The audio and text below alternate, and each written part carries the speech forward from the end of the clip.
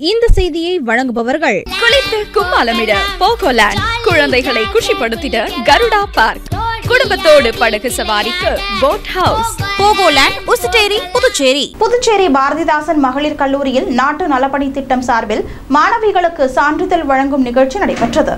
புதுச்சேரி பாரதிதாசன் மகளிர் கல்லூரியில் ஏப்ரல் முப்பதாம் தேதி கல்லூரியின் நாட்டு நலப்பணி திட்டம் கல்லூரியின் வேலைவாய்ப்பு செல் மகிழ்ச்சி மற்றும் வெற்றி அகாடமி மற்றும் வால்வ்நெட் டெக்னாலஜி இணைந்து மாணவிகளுக்கு சான்றிதழ் வழங்கும் விழா நடைபெற்றது. கல்லூரி முதல்வர் முனைவர் ராஜி சுகுமார் முன்னிலையில் மாநில நாட்டு நலப்பணி திட்ட அதிகாரி முனைவர் சதீஷ்குமார் சிறப்பு விருந்தினராக கலந்து கொண்டு நூற்றி நான்கு மாணவிகளுக்கு என்எஸ்எஸ் சான்றிதழ் வழங்கினார். தொடர்ந்து ஹெச்ஏஎஸ் அகாடமி உதவியாளர் முனைவர் பூரணி வாழ்க்கை திறன்கள் மற்றும் தொழில் வழிகாட்டல் பயிற்சிக்கான சான்றிதழ் நானூற்றி ஏழு மாணவிகளுக்கு வழங்கப்பட்டது. வால்நெட் டெக்னாலஜி சார்பில் முப்பது மாணவிகளுக்கு ஃப்ரண்ட் எண்ட் இன்டர்ன்ஷிப் சான்றிதழ்களை விஜய்பாபு வழங்கினார்.